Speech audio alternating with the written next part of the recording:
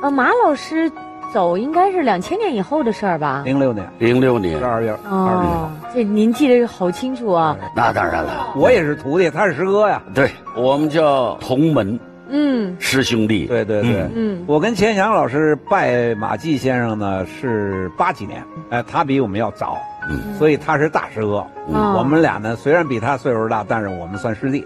哦，哎，就是我们这个相声有一个规矩，就是入门的早晚时。间对嗯对对嗯。那也就是说，马季老师，呃，突然离开的时候，您您几位都立刻到现场了吧？那可不，对，嗯我就记得那天早晨，我正往啊叫那个时候还叫工程兵招待所嗯去排练。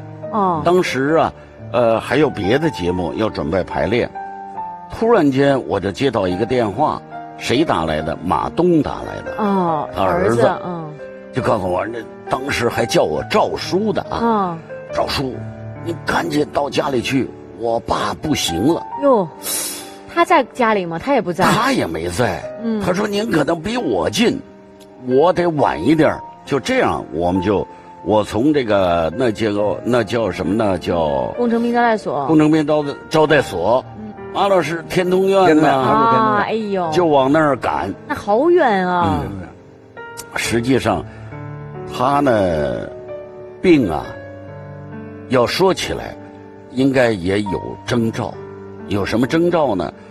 就是他后来啊，一直是担心这个叫糖尿病了。嗯，实际上后来他最后还是心梗，对就是他他忽略了耽误了这个心脏。忽略了，对忽略了。对对，我就记得好像前一天还从外地回来，从外地回来呢，当时呢就觉得不舒服，因为我们经常一块儿一块儿出去演出嘛，有的时候回来，你像那个 T 三航站楼啊，要是走回来，走很远。原来呢一气儿就能走回来了，后来得歇一气儿，嗯，后来得歇两气儿，啊，后来得歇三气儿。嗯就是走不动了。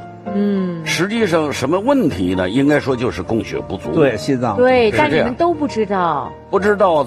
但是后来呢，当时咱们有一个就是心脏内科专家叫胡大一，哦，我知道人民医院的胡大一老哎师，嗯胡老师给他看了，看完以后就提醒他，你别光看这个糖尿病，你要注意你这个心脏。所以后来他提醒完以后，就那一次从外地回来，他马季老师还说：“哎呀，是不行了，